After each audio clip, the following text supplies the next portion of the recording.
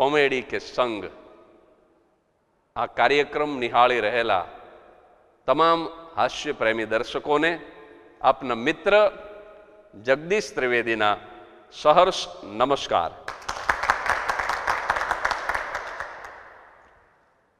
મારો ભાઈબંધ અંબાલાલ, એને એની ઘરવાળીએ કીધું, મોંઘી ભાભીએ કે તમને બધાય છેતરી જાય છે. તે અંબાલાલ કે શરૂઆત તારી બાએ કરી. એ પછી એવો ભવ્ય ક્યારેય છેતરાણો નથી. અને મોટા ભાગના તમે જોજો, એવું જ બને હો. હા. અંબાલાલ એના સાસરે ગયો ને, તો એના સાસુ કે, લાખ રૂપિયાની દીકરી તમને દીધી. તે અંબાલાલ કે ઊભા રહ્યો, પચાસ હજારમાં પાછી રાખવી છે. તે અંબાલાલના સાસુ પાસે બહુ સરસ જવાબ આપે. એ કે તમે તમારા સસરા જેવા જ લાગો અને તમે જોજો, મોટા ભાગના જે પરણેલા પુરુષો હોય ને, એને એને દુઃખ શું હોય ખબર છે? કોમન ચિંતા હોય. એ કે મારા કરતા મારો હાડુભાઈ ખાટી ગયો. અને પાછા નિહાકા કેવા નાખે કે મને મારા સસરાએ હાવ ડિફેક્ટિવ માલ બટકાવી દીધો. એટલે ભાઈ, એવું નથી, પારકા હાથમાં કુવાડી હંમેશા હળવી જ લાગે. દરેક માણસને તમે જોજો, આપણે રેસ્ટોરન્ટમાં જમવા જઈએ, પછી આપણે ઓર્ડર આપીએ આપણું ખાતા ખાતા આપણે બાજુમાં જોઈને, તો એક હ્યુમન સાયકોલોજી માણાને તરત વિચાર આવે કે આ મગાવ્યું એના કરતા એ મગાવ્યું હોત તો સારું હતું. એટલે આ છે ને એ એક દાંપત્ય જીવનમાં બનતી રોજબરોજની ઘટના છે. અંબાલાલે તો એકવાર એના સસરાને ફોન કર્યો. એ કે આ તમારી દીકરી રહીને એ પચીસ વર્ષ મારા લગ્નને થયા, પણ હેરાન હેરાન કરી નાખ્યો. તો એના સસરાએ ફોનમાં શું કીધું જમાઈને ખબર? એ કે જમાય તમારા ઘરે પચીસ વર્ષથી જે કટપીસ છે ને, એનો તાકો હું બાવન વર્ષથી હંગરીને બેઠો. અંબાલાલે ફોન મૂકી જ દીધો. પછી એ સસરા જીવા ત્યાં સુધી બીજો ફોન ન કર્યો. કારણ કે એને એમ થયું કે આ તો મારા કરતા વધારે દુઃખી લાગે છે. પણ ખરેખર આ મજા છે સાહેબ દાંપત્ય જીવનની. પણ પ્રેમ કોને કહેવાય? કે એક સત્યાવીસ વર્ષની તાજી પરણેલી નવોઢા અકસ્માતે રસોઈ બનાવતા દાજી ગઈ ડોક્ટરો એને બચાવી ન શક્યા અને ગુજરી ગઈ. તો એના પુરુષના સગાવાલા મિત્રો બધાએ કીધું કે તારી નાનકડી ઉંમર છે, બત્રીસ વર્ષની નાનકડી ઉંમર અને તું વિધુર થયો, તું બીજું લગ્ન કરી લે. અને એ પુરુષે બીજું લગ્ન ન કર્યું ને એક જ વર્ષમાં એ એટલો બધો ઓગળી ગયો, એટલો બધો દુબળો પડી ગયો કે સામેથી ચાલ્યો આવતો હોય તો તમે એને ઓળખી ન શકો, એવો થઈ ગયો. અને આવી દુર્દશામાં એનો મિત્ર એને સામે મેળ્યો ને ખાલી એટલું જ બોલ્યો કે, ભલા માણસ, ભાભી સળગી ગયા. એમાં તું તો હાવ ઓગળી ગયો. અને ત્યારે એ વિદુર બહુ સરસ જવાબ આપે છે કે એક મીણબત્તી સળગતી હતી. એક ક્ષમા જલ રહી હતી અને સળગતા દોરાએ સળગતા ધાગાએ મીણને કીધું કે હું સળગું છું એમાં તું શું કામ ઓગળે? કારણ કે સળગે છે દોરો. મીણ નથી સળગતું ને એટલે સળગતો દોરો ઓગળતા મીણને પૂછે છે કે, મીણ, હું સળગું છું. એમાં તું શું કામ ઓગળેશ? અને ત્યારે ઓગળતું મીણ સળગતા દોરાને જવાબ આપે છે કે, દોરા, અમે જેને દિલમાં સ્થાન આપ્યું હોય એ સળગે. અને પછી અમે ન ઓગળીએ ને તો તો અમારું જીવતર લાજે ભલા માણસ. અમે જેને દિલમાં સ્થાન આપ્યું હોય. એટલે આ આ ખરેખર આને પ્રેમ કહેવાય. પણ તમે જોજો અત્યારના પ્રેમના નમૂના.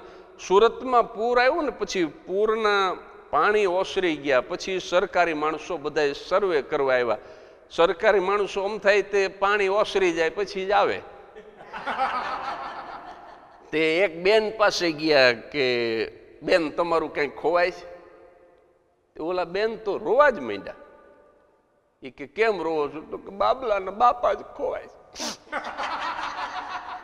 કોણ તો કે મારો ઘરવાળો ખોવાય છે? તે ઓલા કે વર્ણન કરો કેવા હતા? અમે સરકારી માણસો. એવો કોઈક માણસ મળી જશે તો આવીને બતાવી જઈશું. તે ઓલા બેન કે લખો, પાંચ હાથ પૂરા હતા. પાંચ હાથ એટલે સિક્સ ફીટ છત્રીસની છાતી હતી. કાળા ભમર વાળ હતા. ઋત્વિક રોશન જેવી માંજરી આંખું હતી. રોતા રોતા આવું વર્ણન શરૂ કર્યું. પણ તમે જોજો, પડોશણ જે હોય ને, એને ઈર્ષા બહુ હોય. એની પડોશણ સાંભળી ગઈ તો એ દોડીને આવી. ઈ કે, તારો વર ક્યાં આવો હતો? તારો હાવ ગલુડિયા જેવો હતો. ત્યારે ઓલીએ કીધું કે ઈવડાઈ હારો આપી જતા હોય, તારા બાપાનું શું બોલો, પૂરના પાણીમાં ગોર્ધન બદલાવી લે. આને પ્રેમ નો કહેવાય, આને તો નકરો વેમ કહેવાય. જૂના જમાનામાં છે ને, લાજ કાઢવાનો રિવાજ હતો. અમારે અંબાલાલ વાત કરે ક્યારેક, ઈ કે, તારા ભાભી છે ને એ હાવ તાવડીનો ત્રીજો ભાગ છે. મતલબ કે કાળા બહુ છે. પણ કે એક ફાયદો, મેં કીધું, શું મને કે લાજ કાઢવાનો રિવાજ. મને કે કોઈ મોઢું જોવે તો વાંક કાઢે ને. તોય મને કે બોલો, આવી ઘરવાળી અને એકવાર મને ફરિયાદ કરી અંબાલાલ કે, હું આમ કે નોકરીએથી ઘરે આવ્યો ને, ત્યાં તો મોઢું ચડાવેલું. એક તો મોઢું મોટું, ઈ પાછું ચડે. એટલે જમાવટ લઈ જાય. એટલે અંબાલાલ કે કેમ ચડાવ્યું તો કે આપણી બારીઓને પડદા નખાવી દો. અંબાલાલ કે, પણ કામ શું છે?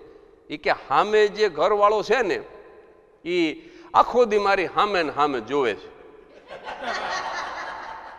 બારીને પડદા નખાવી દો. પણ અંબાલાલ બહુ બુદ્ધિશાળીઓ એ કે, ખોટો ખર્ચ કરમાં, એકવાર હરખી રીતે એને તારું મોઢું દેખાડી દે. પછી પડદા ઈ નખાવશે.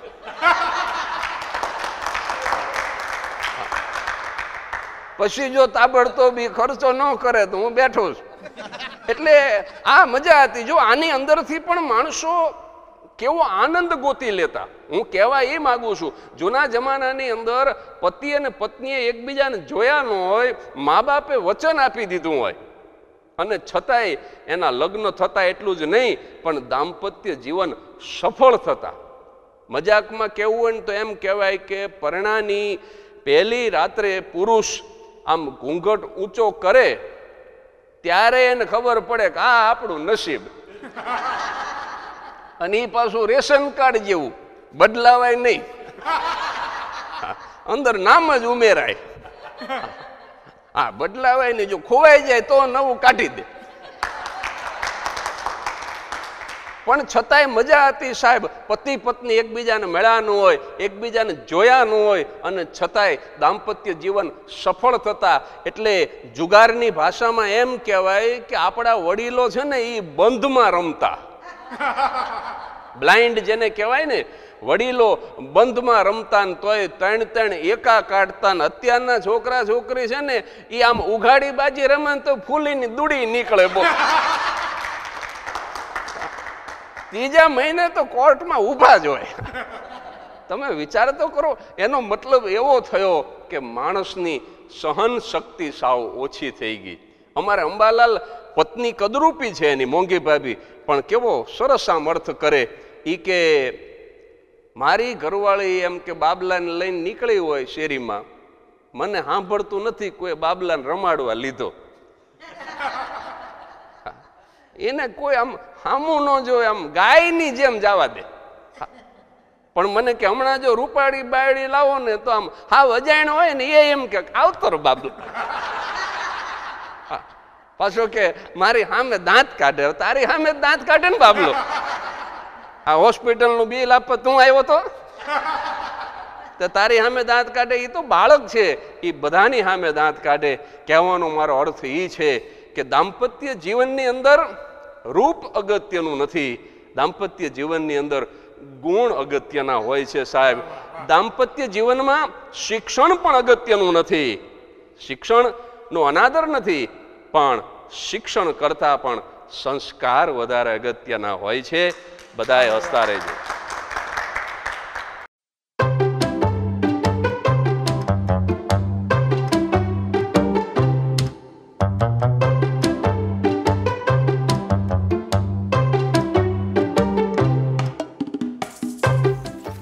Episodes, subscribe to our channel and enjoy watching the videos.